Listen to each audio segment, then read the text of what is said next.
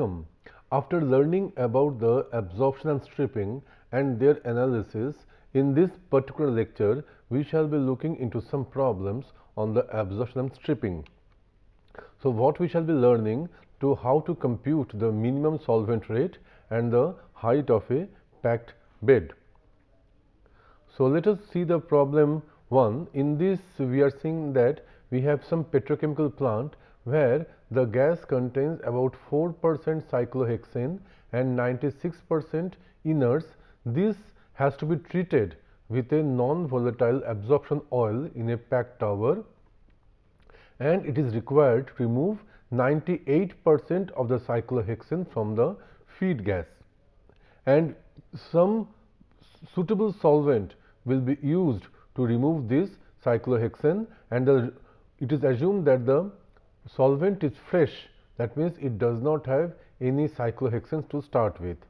If the feed gas is about 80 kilomole per hour, we have to calculate the minimum solvent rate and here we are given the equilibrium relationship in terms of the mole ratio of the particular component in this case cyclohexane in the vapor phase and the liquid phase. Now, let us see how to go on analyzing this problem. So, first let us recapitulate this is the typical packed column packed tower therefore, in this some absorption is going on. So, on this particular thing we are given this V i are given to us that this is the feed which have to be treated uh, and here we are using a solvent. So, we are also given this particular thing. So, these two information are available to us and here also we are given that how much we want to extract how much cyclohexane is want to be extracted. So, we also know the outlet concentration of the cyclohexane in the vapor phase. So, here we are given the vapor phase flow rate that is V 1 as 80 kilomole per hour and this uh, will change from v, this V 1 will be different from this V 2 because cyclohexane has been taken out from this particular vapor phase.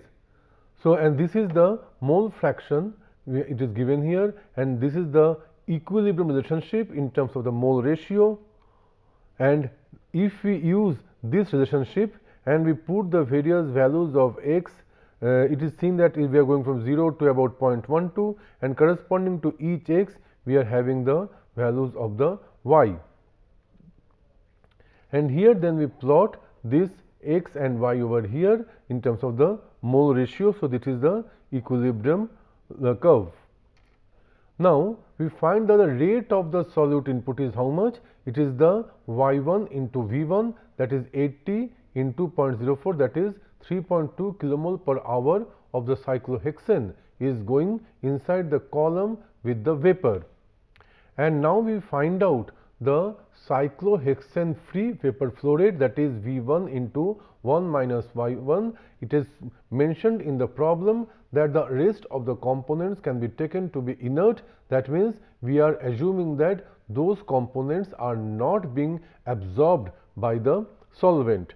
So, this is the cyclohexane free vapor flow rate and this is coming out to 76.8 kilomole per hour and we see that this value has to be less than the total vapor flow rate because in this particular we do not have the cyclohexane present and this particular flow rate will remain constant throughout the particular column. Now, from the given value of the mole fraction, we find out the mole ratio from this formula and we find that this is coming out to this value. And once we know this mole fraction, we find that y 2 is equal to the 20 percent is being uh, ejected out that is 98 percent is absorbed. So, if 20 this 20 percent of this is the this value which is coming out from the column and since the solvent is assumed to be fresh without any cyclohexane. So, we find that x 2 is equal to 0. So, that the mole ratio is also 0. Now, what we do we locate the x 2 O 2 x 2 y 2 on this particular uh, thing and here we find it is located here. Now, from this equilibrium relationship curve we find that there is some kind of a convexity towards the top. So, because of this what we do that we simply draw a line from this thing which will be tangent to this particular curve and wherever it becomes tangent there we read that means here we get the pinch point. Once this, this uh, operating line touches the equilibrium curve we get the pinch point. So, we get the pinch point and for this particular thing we find out the slope of the operating line and this slope will be able to give us the minimum solvent flow rate. So, we find out this particular slope and we know that this slope is Ls by Vs mean and this is equal to 0.19. We are given the value of the Vs. So, once we know the value of the Vs, we can find the value of the Ls. That is the minimum flow rate of the solvent. Now, we come to the second problem. In this problem, we are given a gas mixture with 10 percent SO2 and 90 mole percent of air at 1 atmosphere total pressure at 30 degree centigrade and this has to be scrubbed using water to remove 97 percent of the sulfur dioxide in a tower with a packing which is having the ceramic packing Raschig ring and this is the 25 mm. So, we know that there are different types of packing which are made from different types of material. So, in this case we are using Raschig ring and which is made which is of size of 25 millimeter. The feed gas flow rate is about 1500 kg per hour. So, we are required to calculate the minimum liquid rate and the height of the packing. And here we are given the equilibrium relationship in terms of the mole fractions in the two phases and here we are given the volumetric mass transfer coefficient values for the liquid phase and the vapor phase in terms of kilomole per cubic meter per second and per delta x or delta y is the driving force per unit driving force in the liquid phase and in the vapor phase. Now, we go to solution what we do we first we find out the average molecular weight by summing up the product of the mole fraction and the individual molecular weight. So, we get this, this as the average molecular weight of the gas. And here we are given the vapor flow rate in terms of kg per hour and we divide it by the molecular weight to get in terms of the kilomole per hour. And then we do what we do we plot this equilibrium curve in terms of the mole ratios capital X and capital Y. So, we are given the value of the mole fraction in the incoming vapor as 0.1 and so we can find out the value of the mole ratio uh, in the incoming gas as 0.111 and this we find out somewhere it will be located here. Now, to find out the minimum uh, flow rate what we do that we first find out that it will be wherever it intersects with this equilibrium curve at this point we have to find out that vapor minimum solvent flow rate we have to find out. So, what we do first we find out the V s and that is equal to V 1 into 1 minus Y 1 this is Y 1 and we get this value of the 41.7 kilomole per hour and then we find out that how much sulfur dioxide is entering this is the uh, this is the uh, value of the V 1 into this 0.1 that is the uh, total molar flow rate into the mole fraction. So, this is the amount of sulfur that is going inside and 3 percent of this particular sulfur goes into outlet. So, this 3 percent of this particular value is this 0.14 kilomole per hour is coming out from the packed column and 97 percent is getting absorbed that is the rest of the things is getting absorbed by the uh, solvent. Now, y 2 is again given by in terms of the 0.14 divided by the V s and this is the mole ratio of sulfur dioxide at the outlet of the column and this is located somewhere here because we are assuming that there is no uh, Uh, this solvent is fresh. So, that is there is no sulfur dioxide in the solvent. So, x 2 is equal to 0. So, we locate this x 2 y 2 here and then we make a straight line operating line which will be touching the intersection point of this horizontal line from the y 1 and wherever it intersects okay, from this is the operating line for the minimum solvent flow rate and if we can find out the value of this particular um, uh, this uh, slope, we can get the value of the minimum solvent flow rate and here we find that we drop a horizontal vertical line from this point of intersection and this will give us the value of the x 1 max that is the highest amount of the uh, sulfur dioxide in the liquid phase and that is coming out to be 0.00272 from this particular uh, graph.